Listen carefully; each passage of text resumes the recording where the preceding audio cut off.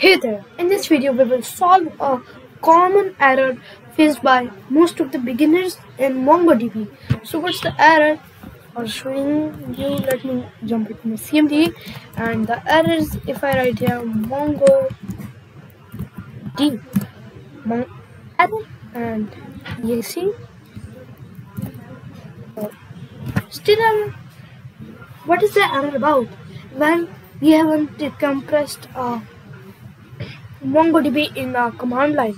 So what we will do is we'll cd slash just go into a C.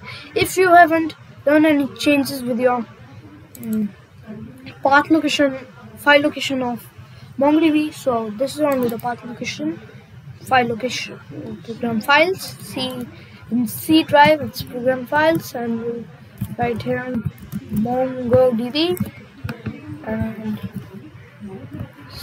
after server 4.4 and after that bin and that's right location we'll just click on copy address.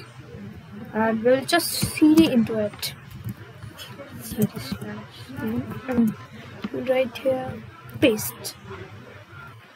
Paste this and now if we will run this command mongod so it will run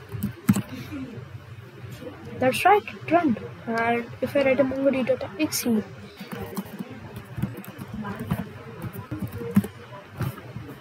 still run means both of the commands are correct, but according to me, the efficient command is mongod.